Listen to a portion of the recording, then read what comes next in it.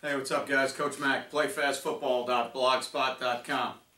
Uh, been a few months since I've, I've done a blog. We've had uh, had construction on our gym. They're redoing the heating in the air, and, and I was kind of uh, relocated for a couple months, and now I'm back in my main office, and then uh, had to start football season, so you know a lot of things get kind of hectic at that time, but now we're into week three. I'm back in my main office, have some time here and there, some downtime to do some things, so just wanted to uh, put a blog out there. We're going to do one on sprint out passing. I know in some other blogs I've done that we've mentioned a little bit about some sprint out passing, protection and routes here and there, but uh, today I want to take the time to do one fully on sprint out passing and uh, why we went to sprint out passing and then uh, talk about some statistical things that I think kind of back up or support, you know, my reasoning for uh, choosing to move to sprint out passing this season with my team.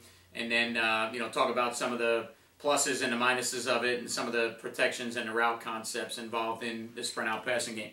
Um, one of the things that I looked at in the offseason was, uh, you know, the fact that we turned the ball over too many times last year in the passing game. Uh, had too many sacks, turned the ball over too many times, put our defense in a lot of bad situations, and, you know, it was part of the reason that uh, we didn't win as many football games as we should have. So one of the things I looked at in the offseason was a way that we can kind of maybe eliminate some of that and, and uh, you know, still be able to throw the ball and, and throw it when we, you know, when we want to and, and, you know, most importantly when we want to, but also if we need to. We still wanted to be able to throw the ball. We wanted to be able to throw it down the field. Um, but at the same time, we wanted to make sure that we weren't putting our offense into bad situations. So, you know, did a little research on what we threw last year, where we threw it, and how we threw it, and protections and everything else that we used, and just decided that for us this year, with the with the quarterbacks I had coming back, and alignment I had coming back, and the receivers I had, that sprint out passing would be a better, more viable option for us to win football games than your standard five-step drop back passing would be. Um, we still use quick game passing. You know, we still use one-step quick game passing from the shotgun. We still throw some screens and we still throw some play action, uh, seven-man protection play action things that we try and throw down the field. But as far as our standard passing game, we, we operate most of our standard passing game out of out of uh, a sprint out style of, of passing, moving the pocket. Okay, so what I want to look at right now is so far through three games. Right now we are we are two and one through three games, and um, we are 16 of 29 throwing the football, which is 56%, which is still not great. Um, it's over 50%, but I'd like it to be over 60% if possible. You can see in three games we've only thrown the ball 29 times, so you know we're only throwing it about nine to 10 times a game. Um, and I think the situations of each game kind of dictate where or why we throw the ball more so than um, than what we want to do with the offense or how we want to do it. They were just situations that dictated us not, you know, needing to throw the ball uh, that much. The one game that we lost, um, it was a hour rain delay right before halftime, and when we got back on the field, uh, really bad conditions with, with wet balls and and and uh, bad playing surface. So even though we were down and we probably needed to throw the ball, we tried to throw the ball a little bit, but didn't have a lot of success doing it. The snaps and the shotgun were a little bit difficult. Handling the ball was difficult. So even in the one game that we lost, we probably should have thrown the ball more, but we really didn't have as much of an opportunity due to weather. So we're 16 of 29 throwing the ball for 56%, but we're 10 of 15 in the sprint out passing game, which is 66%, which is where I'd like to be. I'd like to keep it in that range if I could. Now, we've thrown the ball for 210 yards, which, again, in three games is not, you know, it's not a stat that I put out there to say, hey, you need to throw the ball like this or you need to do this. You know, it to me, it's not about the statistical number for us. It's the reason why we went to it. So we've thrown the ball for 210 yards. We've thrown four touchdowns. And the big thing for me is we've thrown zero interceptions. So Ball security was a big thing in the offseason, talking to my quarterbacks about taking care of the ball and running backs and receivers taking care of the ball. But in the passing game, it's on the quarterbacks to know where to go with the ball, how to go, you know, with the football, how to get rid of it, when to get rid of it, throwing it on time.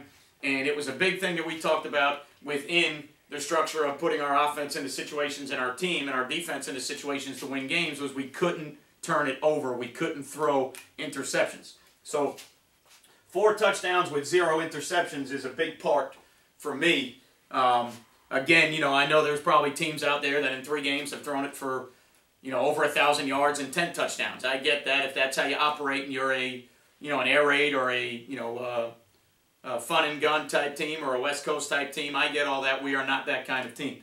For me, though, the statistical data on four touchdowns and zero interceptions is very important because that's why we went to the sprint out passing game.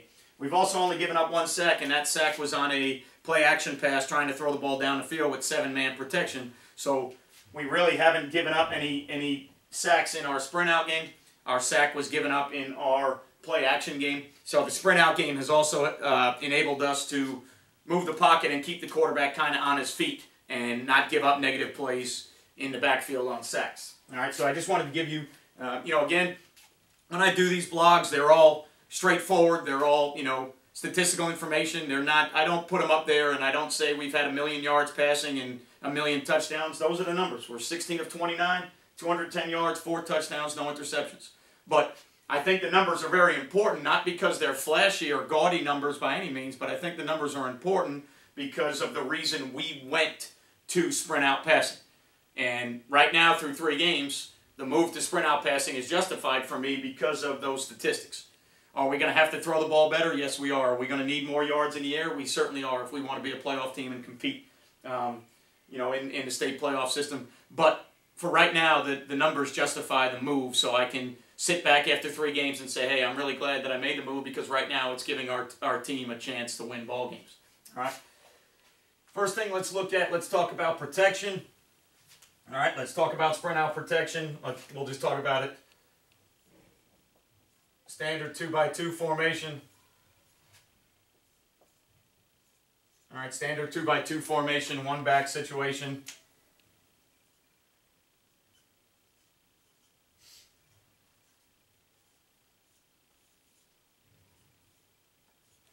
Okay, there's two two different theories, you know, generally two different theories that you can use on in in sprint out passing with your protection. Okay, and those two theories are you can reach the front side, which means you'll take your front side tackle, front side guard, center, okay, and you will reach the front side, all right, in, in a zone reach fashion, but you cannot go downfield, okay. So those three you will be trying to reach you know, A, B, C gap, depending on the front and where those guys are, trying to reach those defenders that are in those gaps and make it a full zone scheme.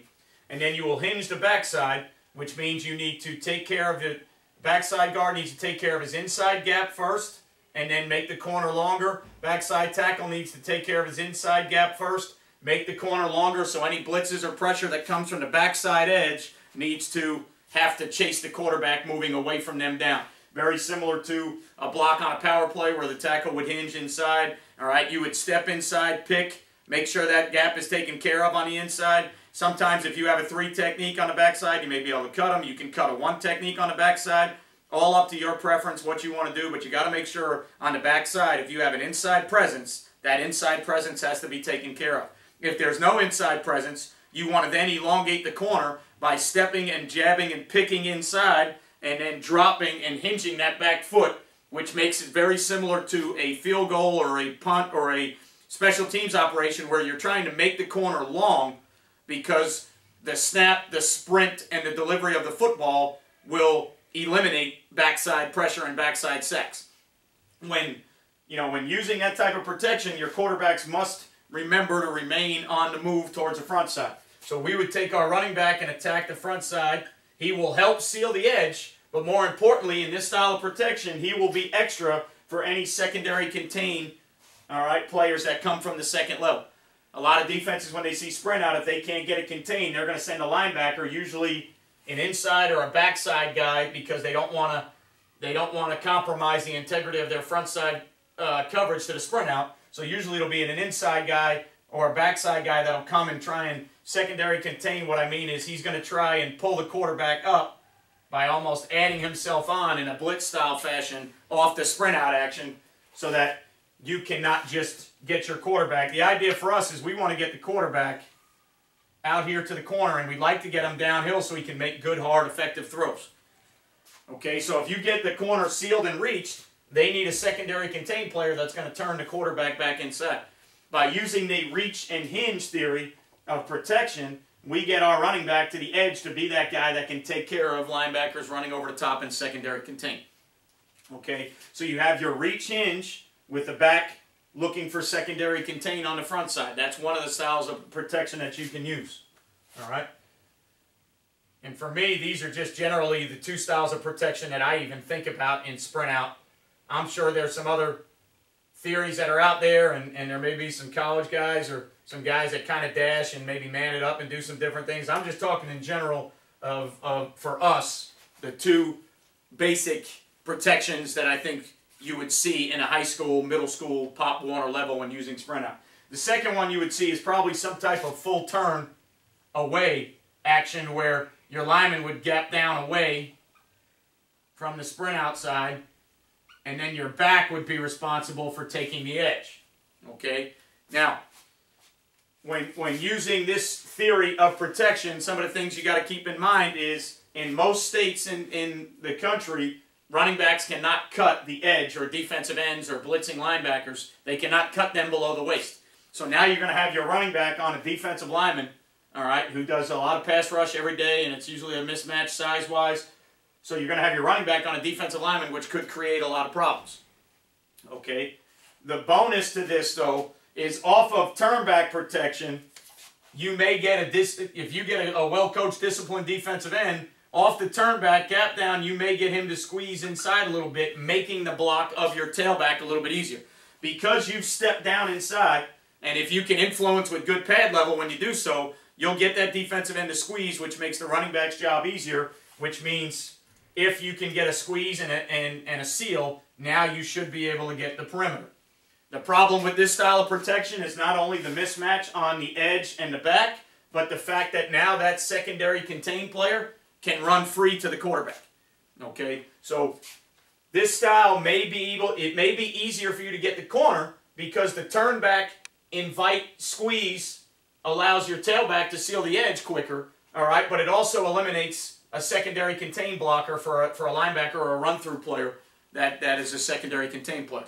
Okay, so those are the two most prevalent, I think, most dominant at the high school, junior high level you would see as far as uh, sprint out protection is concerned. And, you know, a lot of teams you'll see, you'll get formations to where maybe they have a three, you know, maybe they put a three by one set with a wing here and a back here, and they trade and they put the wing down to seal and the back becomes part of the route. You know, there's a lot of things you can do formationally to help your sprint out protection, but in theory, generally you're going to get uh, in sprint out some type of reach hinge or some type of full turn back. Is that the only two ways? By no means is that the only two ways. At the high school, middle school, Pop Warner level, I think those are the two most prevalent ways you'll see sprint out protection used. Okay? Now, again, for us, all right, like I said, for us, we are a reach hinge team. Okay? So, we are a front side reach, backside hinge team. All right, which, again, I said allows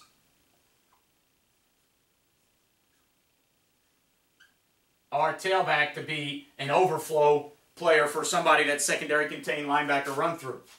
The negative to that is I am showing reach blocks on the front side. So the good defensive lineman, all right, their stimulus, their, their visual key is giving them reach, which means that's going to make them widen. So in essence, the, the block that I'm showing the defensive lineman is actually moving them towards the sprint out. Okay, so that's one of the negatives with the reach, reach, reach hinge, is I am showing reach blocks, which is bringing the good defensive lineman to the play, making the job a little bit tougher on my offensive lineman to get the corner sealed.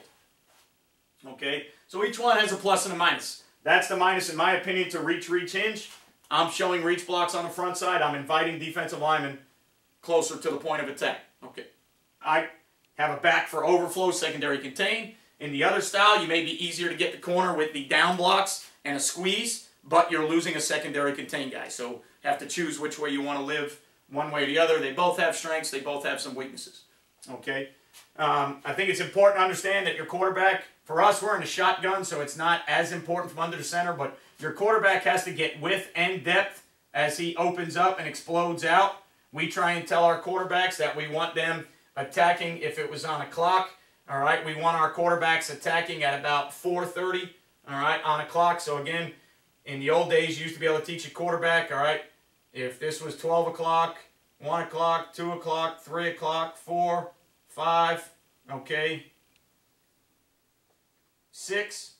All right, we would like our quarterback exploding with width and depth to about 430 so that he can get from the shotgun, it's usually about five to six steps, four yards. We want him to get width and depth here so that he can make a turn to get up and attack the line of scrimmage. So one thing about sprint out passing you have to understand is you want your quarterback throwing the ball coming downhill towards the target.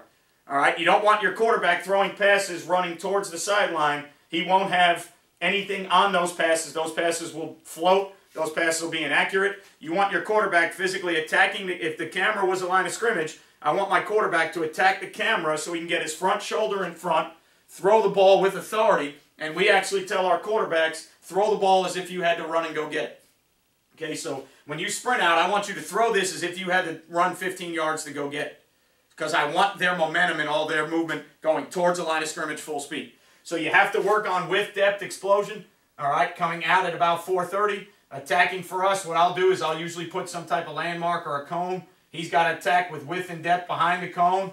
All right, and then get up to work out to his sprint out.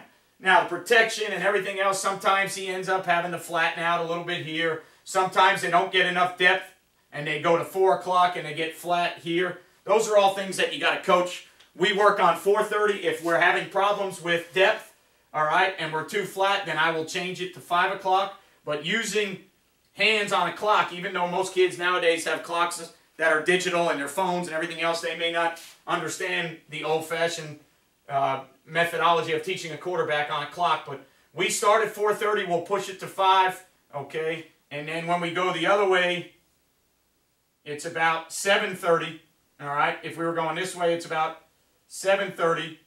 If we're too flat, we'll push it to 7 o'clock. So we use put the quarterbacks as if they're in the middle of a clock, and we use numbers on the clock to tell them, hey, I want you to open to 4.30.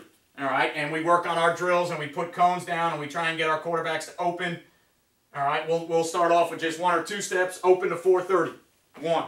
Okay, do it again. That's five, that's four, that's too flat, that's too deep. All right, and then we work it out, and then we put a cone out. We've got to now sprint beyond the cone. As we get beyond the cone, now we can turn, get our shoulders square, try and work on getting our quarterbacks width and depth and getting them to attack downhill as they throw the sprint out ball.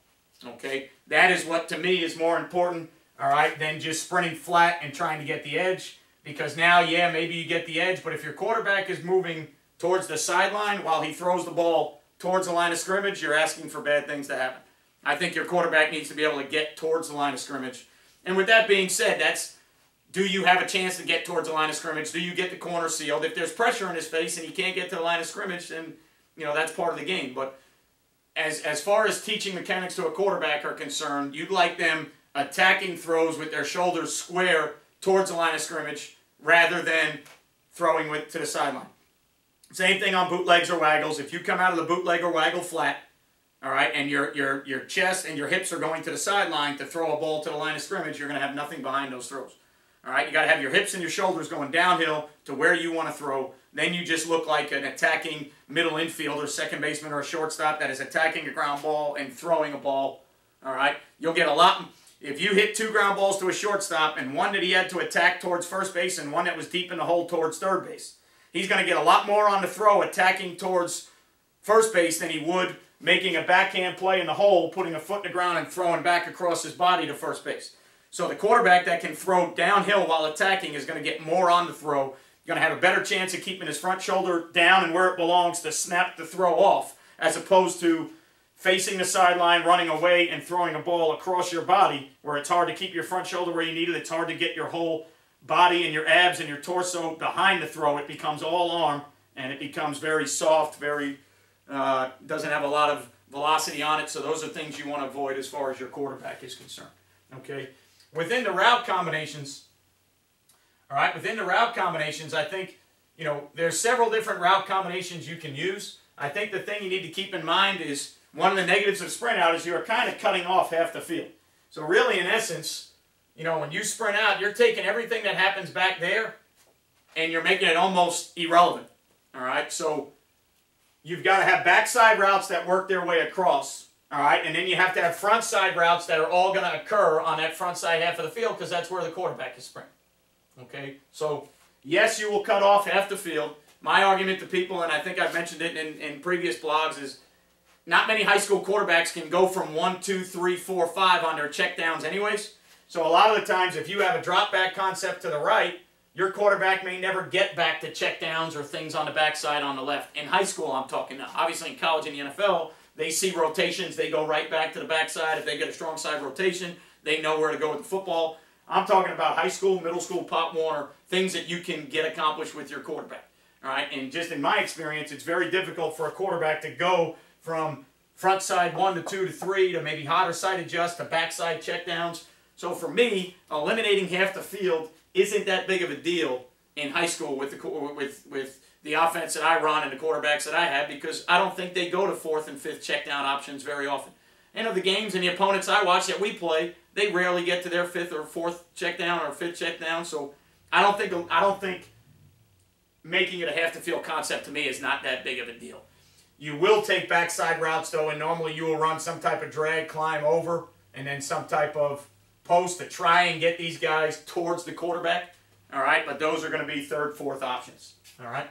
You know, to the front side, the two most standard combinations that you see in almost every passing game, all right, you know, whether it's West Coast Air Raid, Pro Style, doesn't really matter. Almost everybody's going to run a version of two standard concepts. The first one is curl slide. Okay, so you get a curl route by number one with a flat or a slide shoot route by number two. Still effective in sprint out passing. All right. Curl slide windows and putting pressure on flat defenders depending on coverage, still an effective theory in passing or throwing the football to this day. It stood the test of time. It's still an effective theory. The only thing I'll tell you about curl slide to sprint out is you're going to have to widen the split of your number one so that the curl window is still in the quarterback's view as he sprints out. You don't want the curl window to be inside the quarterback working outside because you don't want the quarterback throwing back across his body. So you want the quarterback's windows to stay front side or be moving front side with him so that he doesn't have to throw a ball back across his body because that's recipe for disaster right there. A quarterback sprinting right, throwing blind back to the left is not good. So you want the drag moving towards him. You want the curl window to be a little bit wider than standard drop back because the quarterback is sprinting out. All right. So you still, you know, depending on theory of coverage or what you're getting, you still have all the same conflicts you're putting defenders on. If you're getting one high, flat force defender, now you put a stretch on him, curl window if he stretches, flat route if he doesn't stretch. If you're getting two high or read structures and the corner comes down hard on a flat route, now you're getting to where you have a curl window, drag window that are going to conflict either the hook defender, safety, or possible over overlap secondary contain guy. So all the same concepts and conflicts are there in the curl flat theory. Still a good theory for people to run, all right, in the sprint out game. Just widen your split of number one is my suggestion, okay? The second theory that just about everybody runs in almost all versions of passing offenses is hitch corner, smash, right? China, hitch, China route here, corner route there, right? High, low, smash, China, whatever you want to call it. All right, standard in almost every version of every passing game. It's still good for sprint out passing. It still has, all right, its benefits in sprint out passing. If you're getting soft flat, soft coverage, you can get the hitch route, all right, until they take it away. If they come up to take the hitch route away, now you get a one-on-one -on -one matchup, whether it's cover two, quarters, whatever, man, you get a slot on a safety and you got a matchup to throw a ball down the field over the top you still get that theory of passing. All right, so you still get curl slide, you still get hitch corner. All right, so those two are, are standard. All right, that you can do, you can run them in any offense, drop back, sprint out, and, and it still remains the same. I've seen this in sprint out, adjusted a little bit to where maybe this guy runs more of a outside release sideline hitch here, so that now, because it's sprint out, you can run that route to the sideline, you can create width from a flat defender, and your quarterback can still make a throw because if you ran that route from a hash mark or the middle of the field in high school and drop back, that's a long throw for your quarterback to make. Well, with your quarterback sprinting towards him, all right, with your quarterback actively moving that direction, that sideline route is no longer that long of a throw. So you can get away with, you know, changing that to a sideline, all right, kind of, you know, what we would call it a, you know, a, a a swag route for us, which is kind of like a sideline snag route. All right. So it's just a hitch route, just pushing wide to the sideline with width right now. So you create uh, you create width away and separation from that flat force defender. Okay, and then you still have your over the top corner. So hitch corner, curl slide are st still two very good combinations in sprint out passing. If you progress to three receiver sets, all right, when you progress to three receiver sets, much like similar to, to bootleg style, waggle style passes, when you progress to three receiver sets, you're going to now start working flood combinations. All right, and by flood, what I mean is you're going to be putting three levels of routes on a defense, making it tough for those defenders to cover those routes. All right, so you would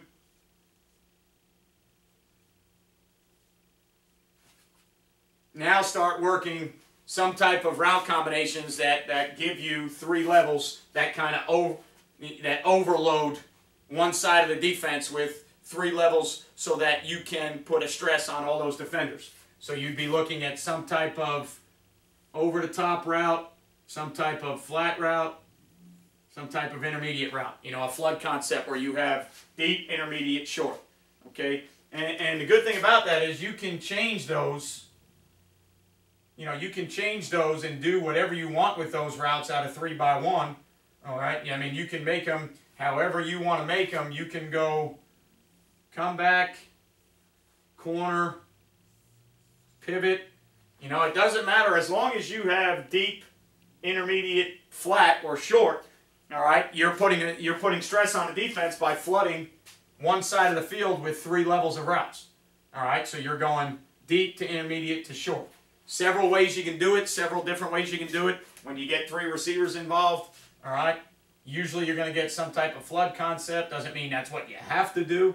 Okay, you know you could probably still work some version of curl, over the top, slide. So now it's curl slide with an added corner route over the top of the curl. You know, I think when talking about route combinations, you can get creative as, as creative as you want to with a marker in your hand. You know, the bottom line is if you're sprinting out and you've got three receivers, try and get one here, try and get one here, try and get one there.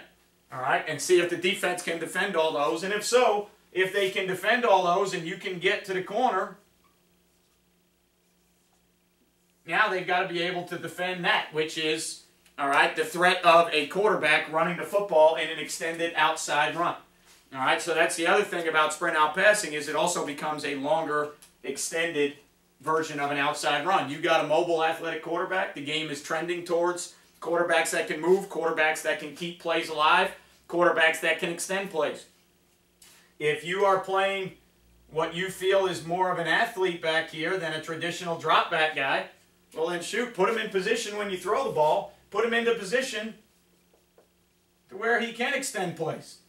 Put him on the perimeter. Put stress on the defense. That's the other great thing about sprint out. So you go three receiver sets and you go flood and you go deep, intermediate, flat with a threat of run. Defense has got to be very disciplined and very sound to defend all those things. Okay? Does that mean that every time you run sprint out to three by one, it's a 15 or a 20 yard game? No, it certainly doesn't. Okay? But what it does is it makes the defense defend over the top. They've got to defend intermediate. They've got to defend flat. And then they've also got to be able to contain at some point, you know, some type of secondary contain, all right, where they can keep the quarterback contained either with the edge end or a secondary contain linebacker, all right. Usually aren't going to see it with this guy because if this guy comes, now you've got routes that you can throw and a lot of windows open. So it's normally going to be an inside guy running over the top, the secondary contain there. All right, my only suggestion is if you are three by one trips routes, take your backside guy and make sure he understands that he's got to drag. Your backside single's got to get involved and get him into the quarterback's vision so that if the quarterback does extend or pull up or make something happen, he's got check down or an outlet to go to on the backside. Okay, so again, by no means are those the routes you have to use. All right, those are just examples of some things you would do out of two receivers, three receivers. You can be as creative as you want to with a marker in your hand. The only thing I suggest is with two receivers, keep your routes kind of outside or moving outside. You don't want inside breaking routes with the quarterback running to the outside because you want to avoid making those throws. So keep your routes either out breaking or with splits to where if they are in breaking, your quarterback hasn't passed them yet in his sprint outs in, in his sprint out action. All right, and also uh, if your three receivers try and keep flood theories in mind, does that mean you have to run flood theories? No, you don't. Okay, but try and keep in mind that it's tougher to defend if you put three levels and overload one side of a defense with a quarterback sprinting out. All right, we went to it because we wanted to shore up our protection and shore up our ball security all right, while still being able to throw the ball and get it to our athletes in space. Um, we didn't go to it to be a um, 10,000 yard passing team or a 50 touchdown passing team. We went to it to put our offense in the best position to win games. All right, that's what I felt like we needed as an offense, uh, along with three step, along with max protect, play action pass, and screens. I felt like sprint out would change the launch point for our quarterback, shore up some things for my O lineman. All right, and I thought it would give us better ball security, at least on the perimeter, to where if we saw things happening on the move, we could make good decisions with the football as opposed to being in a pocket, pressure, pocket collapsing, high school kid, you know, sometimes kind of panicking and throwing the ball into spaces that they don't belong. Uh, one downside is when this happens, the coverages are going to move or sling, so it makes it a little bit um, more difficult to teach moving parts of coverages to kids. One of the things I suggest you do, and, and I usually start this way, before I progress into the actual X's and O's of coverages, I start with my routes first, and I tell my quarterback, okay, I want to go curl, slide, drag. And that's what I want you to look right now. So as you sprint out, you're looking curl. Is it open?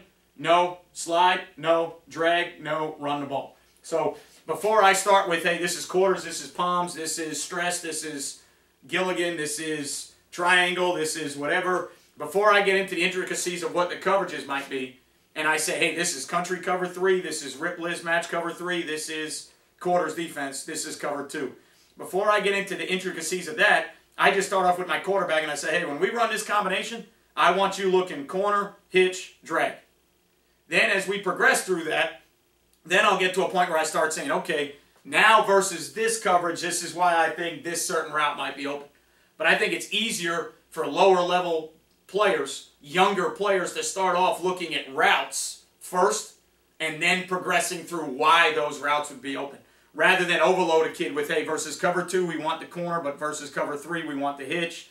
You can get to those things eventually, and hopefully you will and you should with your quarterbacks. I just think in, in 18 years of doing it and 16 years with high school players, I think it's easier to get it taught first by saying to your quarterback, hey, especially when you're doing it on air in the off season or if you're in seven on seven leagues that are now legal in a lot of places if you're doing it in the summer i think it's easier to do it with routes and routes on air and say hey when you get out of here sprint out depth width landmarks corner hitch drag curl flat drag i think that's easier to teach to a quarterback to begin with before you get involved in teaching coverages Again, hopefully you can fit it into your offense if you're looking for a safer way to throw the ball, if you're looking for a way to still throw the football, but you have a quarterback that's five foot eight, you have a quarterback that's an athlete, then sprint out may be something you want to go to. All right. As always, you know the the execution of the play is always going to be more important than the drawing of the play on the board. So you still got to get it coached. You got to get the kids to understand it, and the best way to get them to understand and execute it is always have them play fast. See you guys next time.